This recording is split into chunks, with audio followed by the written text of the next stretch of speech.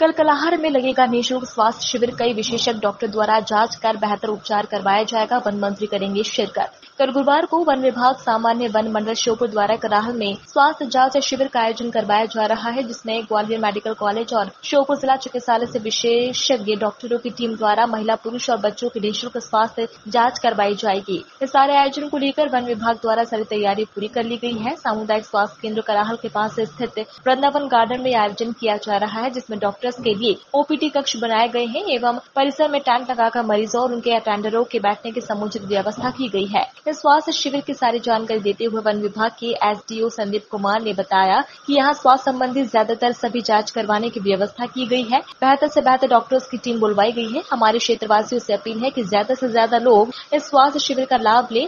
हमारे वन और पर्यावरण मंत्री रामनिवास रावत भी शामिल होकर मार्गदर्शन करने वाले हैं। कराहल संवाददाता अमित कुमार श्रीवास्तव की रिपोर्ट। जो कल स्वास्थ्य शिविर लगाया जा रहा है वन विभाग द्वारा क्या क्या सुविधाएँ सर यहाँ मिलेगी मरीजों को? संयुक्त वन प्रबंधन समितियों के द्वारा स्वास्थ्य शिविर का आयोजन किया जा रहा है।